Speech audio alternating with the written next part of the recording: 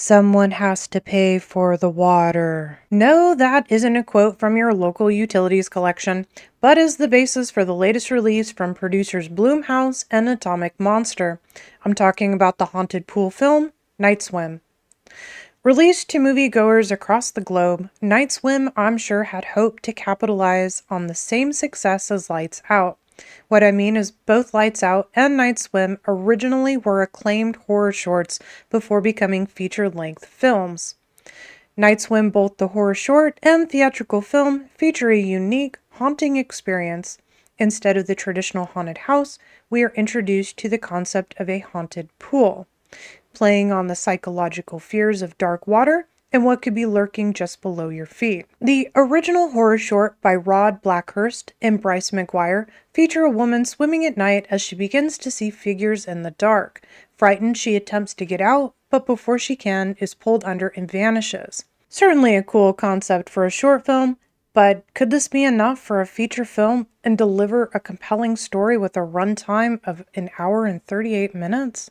The film's plot follows Ray Waller, a former baseball player forced into early retirement by a degenerative illness. Stumbling upon a fixer upper suburban home with a spring water self sustaining pool, it doesn't take long before the family begins to see Ray stronger and healthier than ever.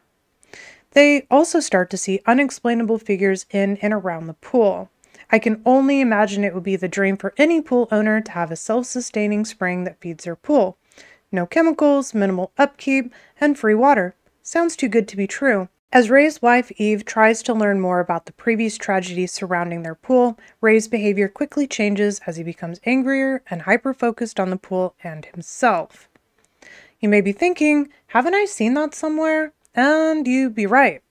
Night Swim seems to have washed, rinsed, and repeated the Amityville horror. I'm specifically talking about the one with Ryan Reynolds. Without much effort, you could swap Ray with Reynolds' character, George Lutz, and you wouldn't even notice. Both characters become obsessed with their real estate purchase and quickly descend into madness, all the while attacking their families. Sadly, Night Swim doesn't meet the hype created around this film. Things I found most disappointing were really the ghosts and storyline. No matter the caliber of acting, it wasn't going to save this flimsy and overdone haunting storyline, and changing out a haunted house for a pool didn't really work for a feature length film. It wasn't surprising to me to see that as of the release of this review, Night Swim sits at a whopping score of 22% on Rotten Tomato. Despite its attempts to create jump scares, it was far too predictable and could have easily been rated PG despite some of the language. Even the most violent parts of the movie, the camera pans away, leaving much to the imagination of the viewer. And what about the ghosts, you may be asking? There was far too little, and what we do get to see was okay. They weren't exactly terrifying, but for the most part, the CGI creations did appear to have decayed a bit. Most of the scenes they were featured in were so dark, and with their black color tones, much of the detail was lost.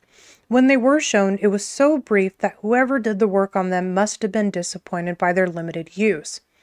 I would be curious to find out if that was on purpose or if someone decided going a similar way of the original Jaws and leaving it to the viewer's imagination was best.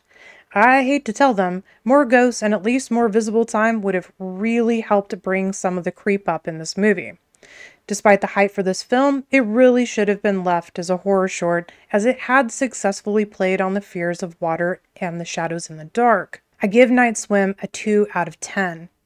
It has been released to streaming as of January 23rd, only 17 days after its theatrical release. Perhaps that was due to its lackluster opening of just 11.8 million despite a budget of 15.